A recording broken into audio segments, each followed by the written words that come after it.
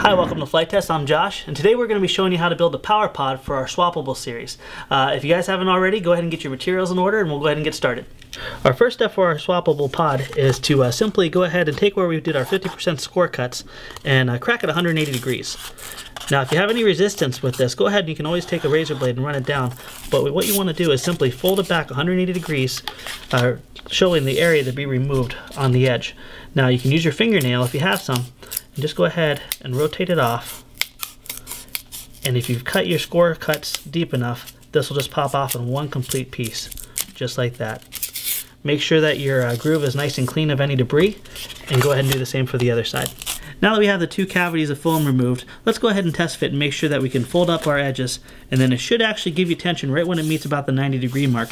If you have your firewall cut out, you can actually use that as a gauge to make sure you're nice and square. Once you're happy with the fit, check the other side. Make sure that it doesn't rock back and forth. If it rocks back and forth, you have some foam down in there that you need to remove. But we're good to go. Our next step is simply to go ahead and take our hot glue gun and then start roughly about a half of an inch in and put a nice bead of hot glue right down the side here. Squeeze over the edge just ever so much, giving you a nice firm glue joint. Now this is an A-style fold, which means that the side cheeks are going to go over top of the bottom plate. I like to fold it up with this, uh, whatever piece is going to be pushing against the building board so you can put even pressure down against the building board. Gives you a nice square true edge. If you have any excess here that's, that's too much more than you like, you can go ahead and just take a scrap piece of foam and squeegee it off. Once that side's done, we'll go ahead and repeat the process for the next side. Now that we're happy with that, go ahead and check and make sure everything's nice and square. Our next step is to uh, install the firewall onto our power pod itself. Now obviously, once again, we want to check the fit, making sure that the bottom of the firewall is nice and flush with the bottom plates and the side is flush with the side plates. Um, this is where your bar barbecue skewers are going to go through and it's very important that this is nice and securely fastened. And to do that, what we're going to simply do is put a bead of hot glue right down on the surface right here. Now we're going to come back and tape over this with tape, and that's going to be where the real strength comes in, but the glue is very important for a nice secure fit. Now that our firewall is securely fastened to the uh, power pod, we're going to go ahead and reinforce it. And I like to use extreme packing tape, but really any packing tape that you choose is just fine. Uh, what we want to do first of all is go over top of these guys with some tape. And you can simply do this by cutting, and you don't have to be exact, cutting your packaging tape and simply folding over each relief. These uh, tabs are roughly one inch, but you don't have to, like I said, be spot on.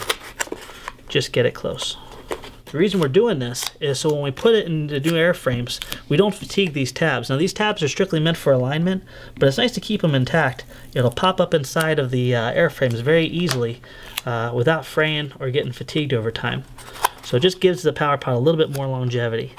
Now that we have our tabs reinforced, we're going to go ahead and go around the perimeter with our packaging tape. There we go. Once we get to the end, we can go ahead and just cut that off. Press it down. Then we can go back with our knife or scissors, cut some reliefs, and then fold it under just like you're wrapping a gift. This gives you a lot of durability and also keeps the motor in the firewall from uh, pulling out of the power pod itself. And for this back, I'm just going to trim this flush. There we are.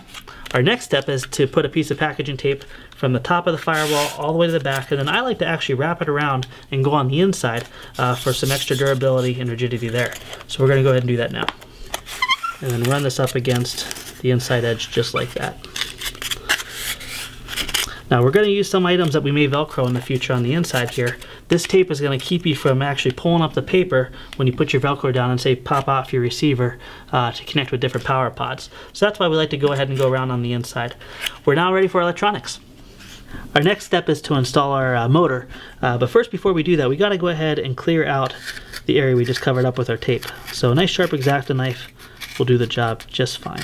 And this is where our wires are going to pass through, so we're going to go ahead and clear this area out as well. Our next step is to install our motor mount. Now, if you guys haven't found a power setup, we do have some recommended power setups in the links below in the description.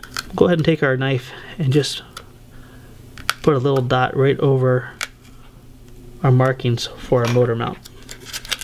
Our next step will be to simply screw on our motor mount with the extra servo screws that we get supplied when we buy our 9 gram servos.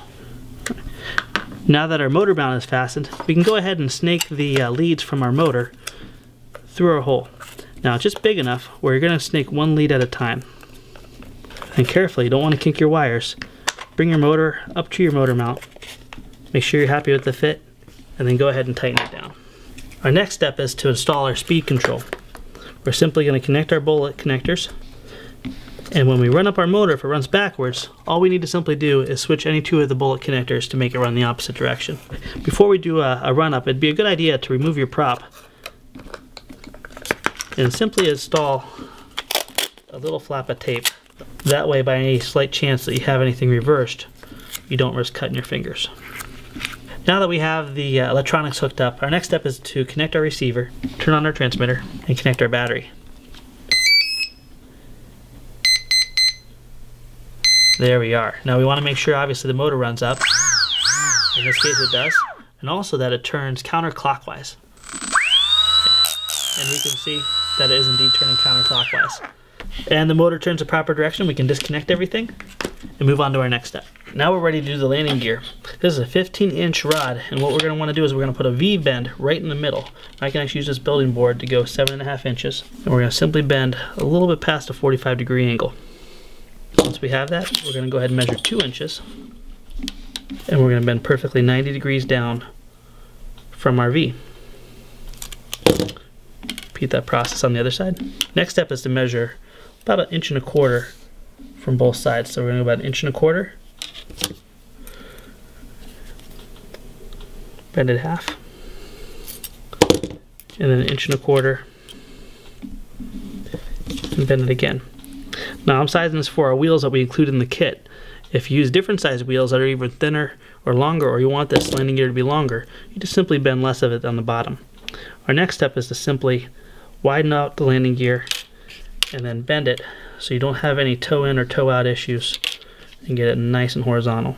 The next step is to test fit on the airplane.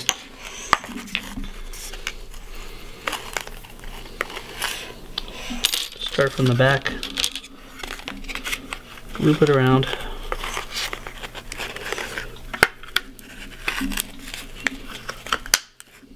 Just like that. Now you can also zip tie this in if you wish, but I like to leave the rubber bands on it so it gives a nice bungee effect. The next step, we're ready for our wheels.